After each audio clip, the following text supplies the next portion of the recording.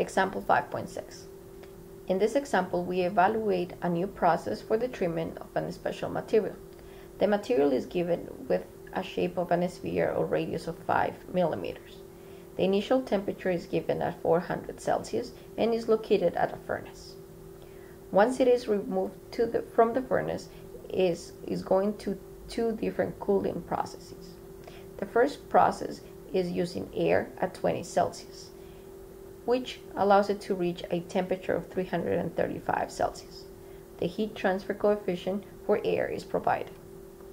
The second cooling process is providing a well-stirred water bath, which is at 20 Celsius. The convection coefficient of water is provided.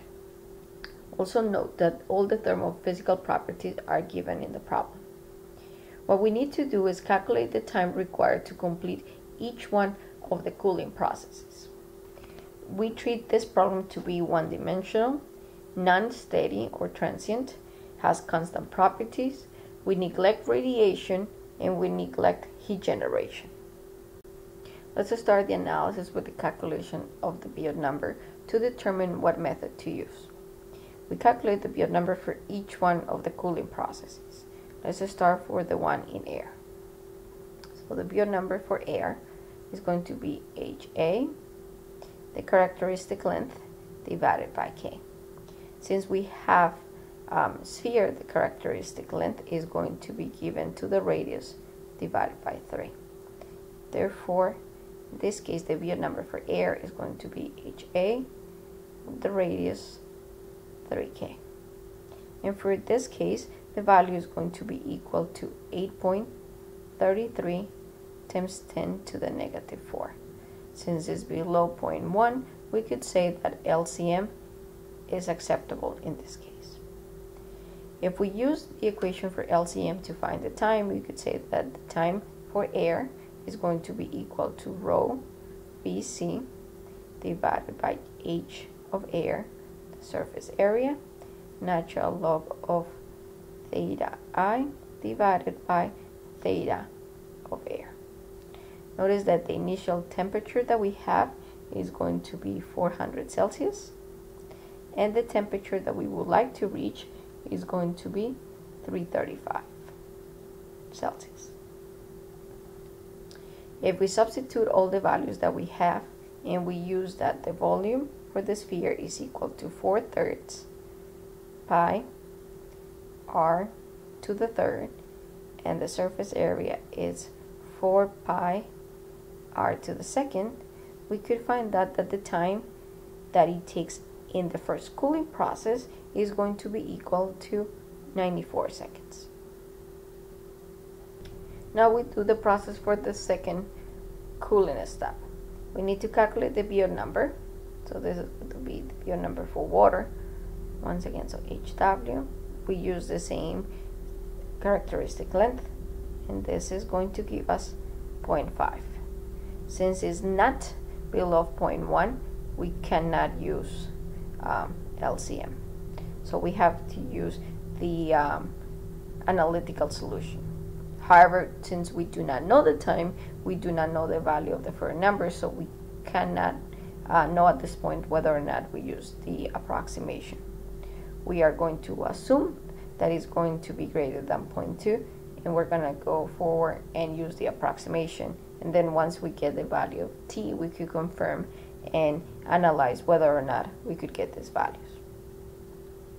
So what we're going to start with is we're going to start the equation of theta, the center, and this is going to give us C1 um, exp minus zeta square f0. Uh, we know that the value of theta 0 star is going to be equal to T0 at the final value of the T water minus T infinity divided by T initial of this process divided by minus t infinity. Please note that this value of theta is evaluated at the center of the sphere. We are going to assume that the initial or the final temperature that is going to have at that time TW is going to be uh, uniform throughout. So we know that it's going to be 50 Celsius. We know the, um, the temperature of the fluid. We know the initial temperature at the cycle. And therefore, we could find out what the value of theta 0 star is going to be. We could also find out what the values of C1 and zeta 1 are going to be based on the Biot number. However, the Biot number that we calculated was using, it was for the outside of the sphere. Since we are going to calculate it for the inside or the center of it, the characteristic length, it's different and it's going to become R0. Please keep this in mind when you are doing the calculations. Uh, it is very important to identify what is the position at which you are calculating the temperature so that you could determine the characteristic length. So this is valid since we're using it at the center. So we're going to calculate the new Biot number based with the center position and we're going to use H of water, R, and K and this is going to give us 1.5. Using this Biot number, we're going to the table and for the sphere and we find that the value of C1 is going to give us 1.376 and zeta 1 is going to give us 1.8. Having that information, we, or, we could calculate the value of theta 0 star and we have C1 and zeta 1, we could find out the value of the Ford number. The Ford number in this case is going to give us 0.82 and then using the relationship that uh, relates the Ford number with time, we could say that the time of the water is going to be the Ford number RO divided by alpha and we could find that the TW is equal to 3.1 seconds. So notice that the first part of the cooling process took 94 seconds. This one took only 3.1 seconds. The total is about 97.1 seconds for the total cooling process.